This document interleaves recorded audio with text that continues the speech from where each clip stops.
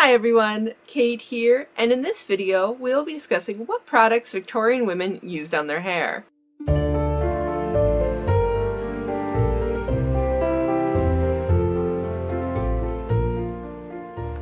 Okay, I think I'm gonna have to take off the hat.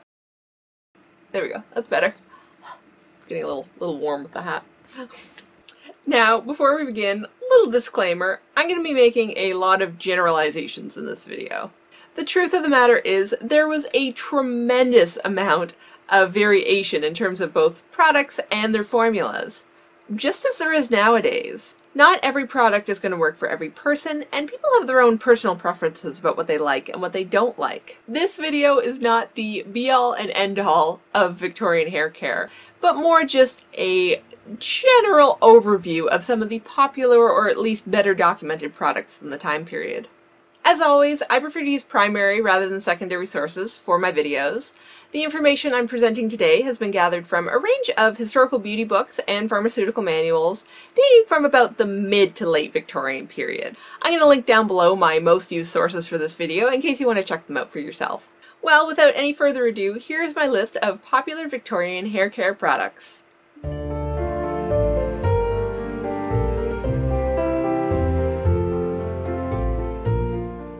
Let's start with the most basic and most widely used Victorian hair care product, shampoo. Egg shampoos are perhaps one of the better known ways that Victorians washed their hair. These were quite widely recommended in books, although they varied quite a bit both in terms of their formulation and their application method. In general, an egg, or two, or at least part of an egg, was beaten together, sometimes with water, and then massaged into the hair and or scalp.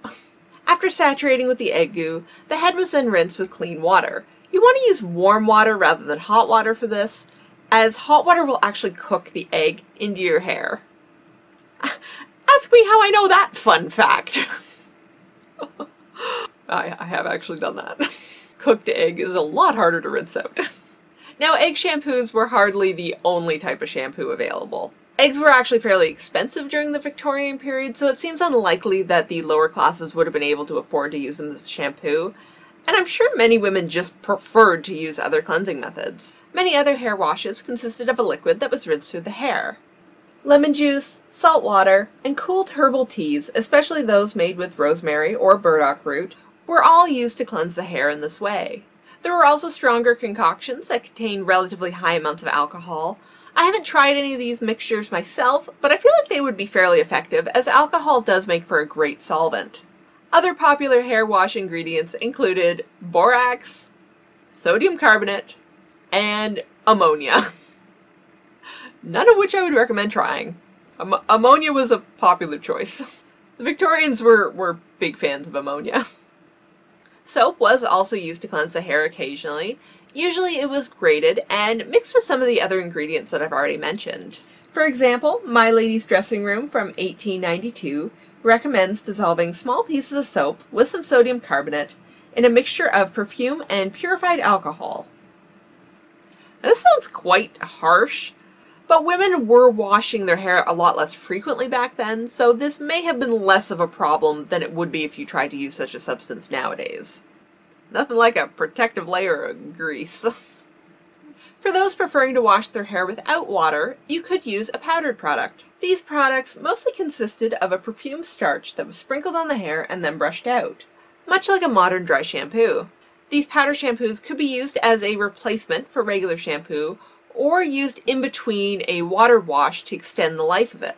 I suspect the popularity of these products is that indoor plumbing was still not entirely a thing in a lot of households, and there were no hair dryers. It gets a little chilly in the winter.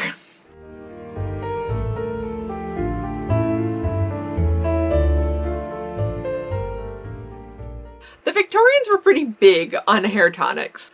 It seems there's a different product available for virtually any hair and scalp condition you can think of.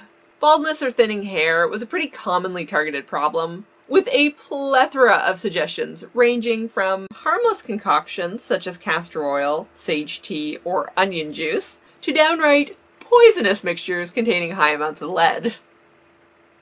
Victorians also love lead. Most products, however, fell somewhere in the middle. They may have been rather irritating to the scalp in order to increase blood flow, but they weren't actually harmful. I doubt many were actually effective either, but hope springs eternal. This is the point where I wanted to mention some common tonic ingredients, but there was really such a wide range of ingredients being used that we would be here all day. Instead, here's a quick look at just a handful of tonic recipes.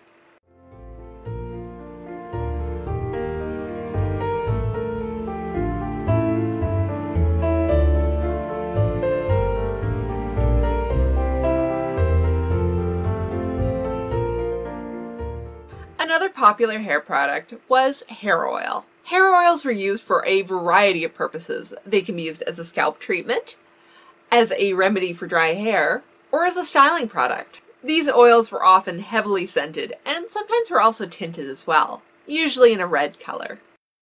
Victorians used a variety of different base oils, such as almond oil, olive oil, and castor oil, as well as some animal-based greases, such as beef fat and lard. Which sounds kind of gross to me, but you do you, Victorians.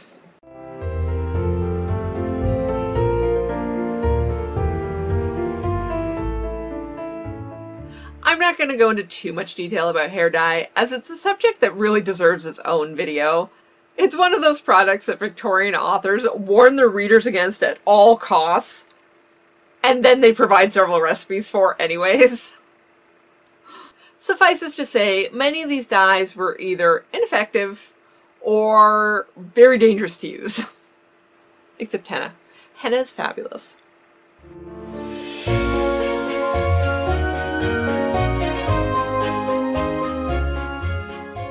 There were an array of curling products marketed to women, especially starting in the late Victorian period, I find you can't open a historical magazine without stumbling across an advertisement for one of these products.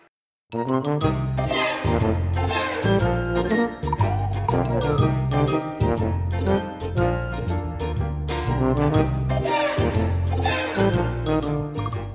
were a number of homemade options as well, which were usually intended to be used as a setting lotion.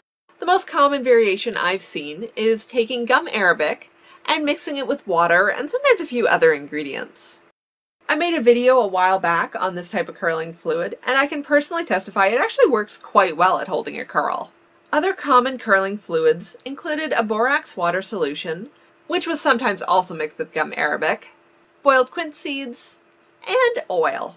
Many of these preparations also included alcohol, likely for preservation purposes, as well as some sort of perfume. As a side note, a mixture of gum or quince seeds was also often used for what was called a bandoline.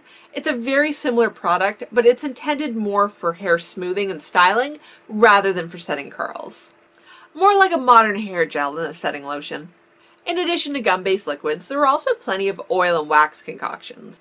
Pomades and pomatums consisted mainly of oils, animal, vegetable, or mineral, and were used by women to style their curls, tame their frizz, or otherwise smooth an intricate updo. These often included things like wax or honey to improve the hold, and were usually scented. Victorians really loved a scented hair product. A few other fun hair products I just had to mention included scented hair rinses, hair perfumes, sometimes in an oil form, hair glosses, and sparkly hair powders. I made one of these shimmering hair powders last Christmas and it was so much fun. I will try to remember to link the video in the description below. Well, I feel like I've only briefly scratched the surface on this topic, but we have arrived at the end of the video. I'm starting to lose my voice a bit. Let me know down in the comments if there's any product you want me to cover in a bit more depth in a video, or perhaps provide a recipe for. As always, thank you for watching, and I will see you guys next time. Bye! The hat too much. I only been filming for 12 minutes. I feel like I've been talking for days. Okay. I'm so tired today. uh, why is today filming day? Today should be napping day.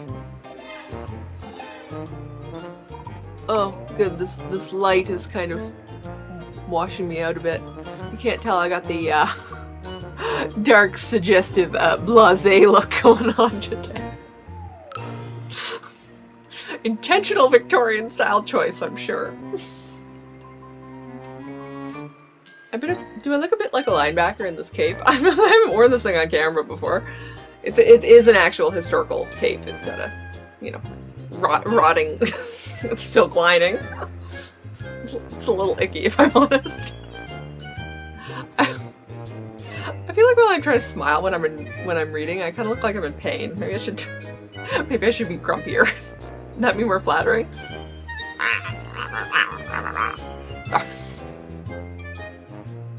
Pomades and pomades and potom, pomatums, pomades and pomatums, pomades, pomatums, tomatoes, tomatoes. That how say it? Pomat. Oh, pomatums? Pomatum. It must be pomat. I, I looked this up ahead of time and Google was not helpful. I think I'm slouching. I notice like as the video progresses I seem to get lower and lower. the energy drains out and I'm just like on the floor by the end of it. Yeah. Okay. Oh, wow. Okay, yeah. Up straight. we got this. I'm on the last page. Oh man. If this video doesn't turn out, I'm gonna like cry. This video is made possible through the generous support of my Patreon members. Thank you.